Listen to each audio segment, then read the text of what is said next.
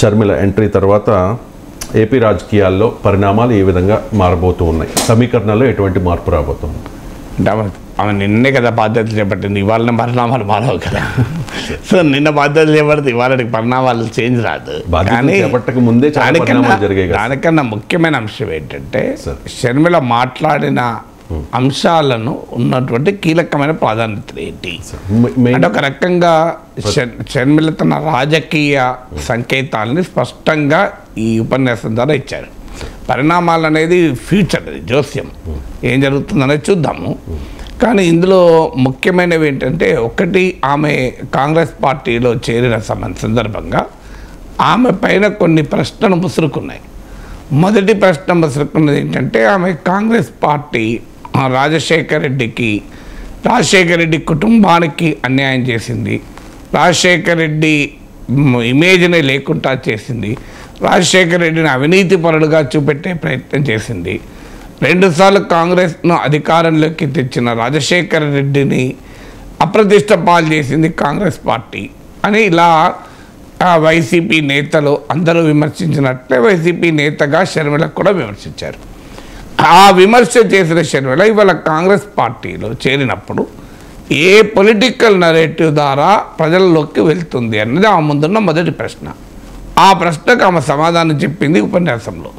నెహ్రూ ఆ, ఆ, జవ- ఆ, కాంగ్రెస్ పార్టీ మ- నాయకుడిగా రాహుల్ గాంధీని ప్రధానమంత్రి చేయడమే వైఎస్ రాజశేఖర రెడ్డి లక్ష్యము.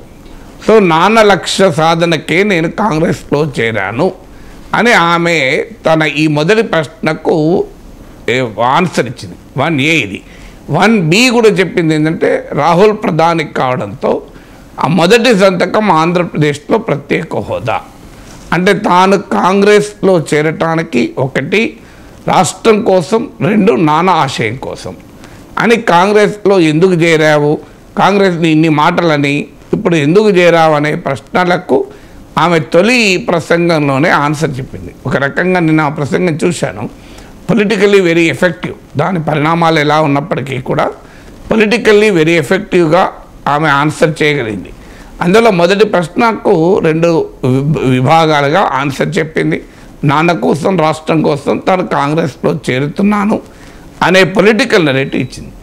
ఇక రెండవ ప్రశ్న వచ్చింది. గతంలో మీరు కొద్ది రోజుల క్రితమే వైఎస్ఆర్ తెలంగాణ పార్టీ పెట్టి తెలంగాణకే తాను జీవితం అంకితమని తాను తెలంగాణ కోలోనే పుట్టి పెరిగానని చివరి వరకు తెలంగాణ కోసమే పనిచేస్తానని తెలంగాణ ప్రయోజనాల కొరకు అన్నతోనైనా పెట్టుకుంటానని అని వైఎస్ఆర్ తెలంగాణ పార్టీ నాయకురాలుగా అనేక విషయాలు చెప్పి ఇప్పుడు ఆమె వైఎస్ఆర్ తెలంగాణ పార్టీని క్లోజ్ చేసి ఆంధ్రప్రదేశ్ రాజకీయాల్లో ఎంటర్ అయ్యారు. ఇలా ఎలా తెలంగాణలో మరి ఏ- ఏమీ చే- తెలంగాణలో పార్టీ పెట్టి తెలంగాణలోనే ఉంటానని ఆంధ్రప్రదేశ్కి ఎందుకు వచ్చావన్నది ఆ ముందున్న రెండవ ప్రశ్న. ఆ ప్రశ్నకు కూడా మా సమాధానం చెప్పింది ఆంధ్రప్రదేశ్ నా పుట్టినిల్లు తెలంగాణ నా మెట్టినిల్లు నేను ఇక్కడైనా అక్కడైనా పనిచేస్తాను అని.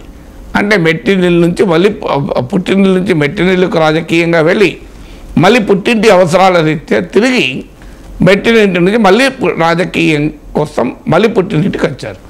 అందువల్ల ఒక భారతీయ సంస్కృతిలో ఒక ఆడబిడ్డ పుట్టినింటి అవసరాలు మెట్టినింటి అవసరాలు రెండు తీరుస్తారు.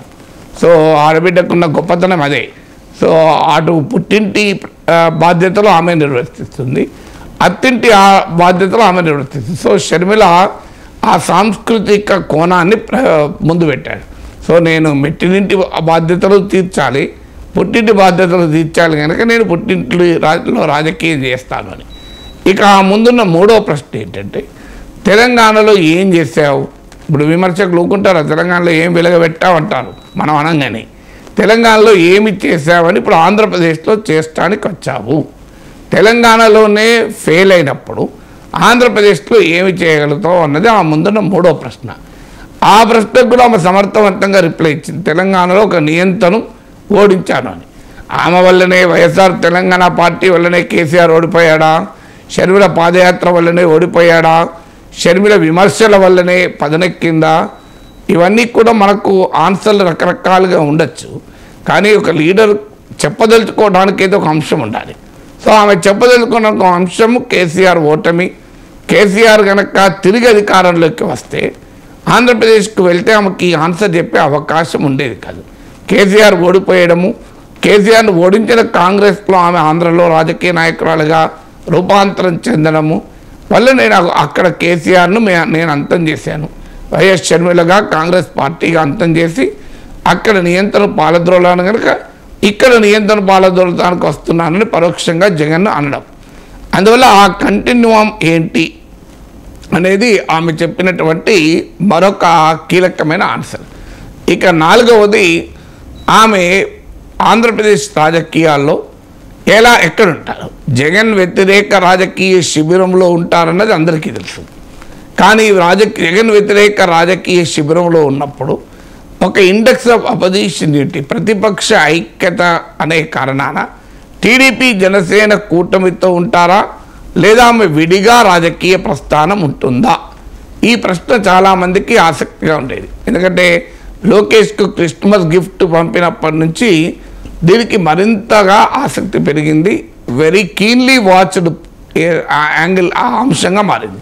ఆమె నిన్న ఉపన్యాసంలో జగన్నే కాదు చంద్రబాబు నాయుడు కూడా విమర్శించడం ద్వారా చాలా స్పష్టంగా తాను అటు వైసీపీ వైపు ఉండడం ఎలాగూ ఉండదు టీడీపీ జనసేన కూటమితో కూడా ఉండదు. అంటే ఆంధ్రప్రదేశ్లో మూడవ రాజకీయ పొందిక ముందుకొస్తుంది.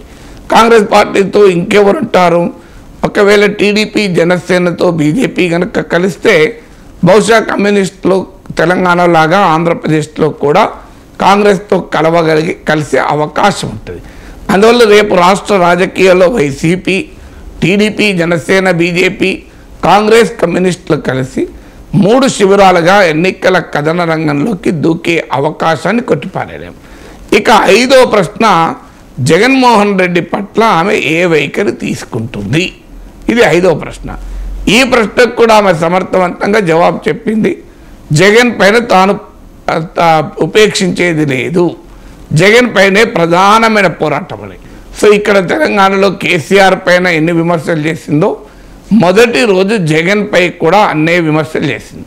సో జగన్ ఎమ్మెల్యేలు మా మద్యం మాఫియా ఇసుక మాఫియా ఒక రకంగా చెప్పాలంటే చంద్రబాబు నాయుడు అన్న నినాదం దాచుకుంటు దోచుకుంటున్నారు దాచుకుంటున్నారని పవన్ కళ్యాణ్ ప్రతిపక్షాలు మాట్లాడుతున్న భాషే ఆమె కూడా మాట్లాడింది.